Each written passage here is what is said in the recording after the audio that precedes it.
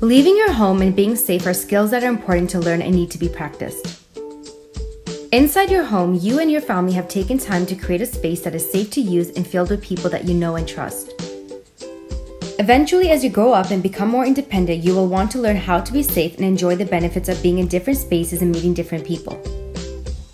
When you're ready to learn, ask an adult to teach you and supervise you for safety. Begin by learning how to open and close your door. Do you need a key? Are there numbers you have to push in a digital lock, or do you have to press the doorbell and wait for someone to answer the door? Practice this skill first and stay in your front or backyard. If you want to play or do any activity in your front or backyard, tell a responsible adult who is already inside your home. Tell them what you will be doing and where you will be. They will make sure the area is safe and supervise you until you are comfortable. When they go inside, they will tell you, and you can check in on them every little while just to let them know you are still outside.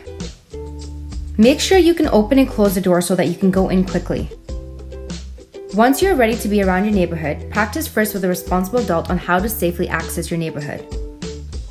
This includes using the buddy system, telling a responsible family member at home where you are going and what time you will be coming back. Take a watch or cell phone with you. Practice first for a short period of time. Increase the time as you both get comfortable communicating your activities. This also applies to going inside a person's house, store, or restaurant.